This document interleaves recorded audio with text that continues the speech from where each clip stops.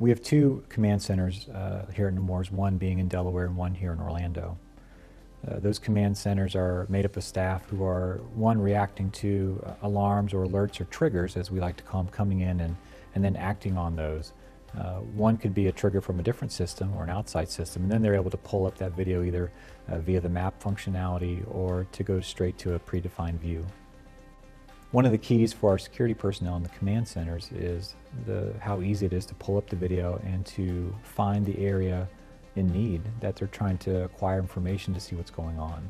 A lot of times that might be in the emergency department, it might be in the parking lot, uh, there might be a code pink, and they need to assess the location of what's going on to be able to provide direction to staff and to help secure an area or provide any uh, assistance if needed.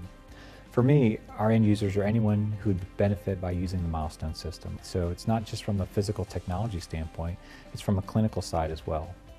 That can be from our cardiac division, our behavioral health division, from guest services to visitor management, to actually to the nurses in the pods and they're wanting to monitor where are the families and where are the kids so they can help uh, communicate when they need to communicate with them and find them on the unit to help them out.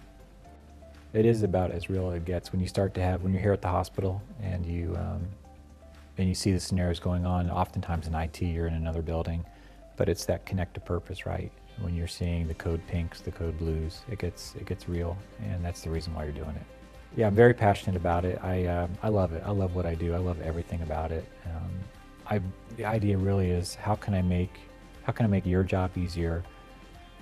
I always like to say, how do I wow you? But how do I provide something that you don't think you can do, but you can do?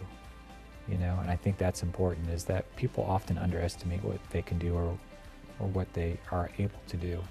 And I always tell people, why not? Let's go do it. Don't let someone tell you no. If you have a good idea, go do it because you never know if it'll work if you don't try it.